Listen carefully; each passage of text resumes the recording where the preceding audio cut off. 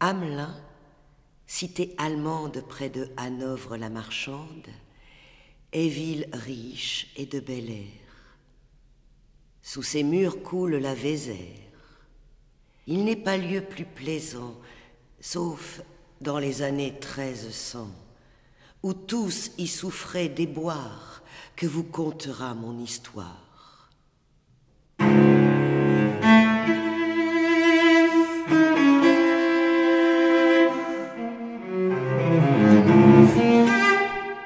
Thank you.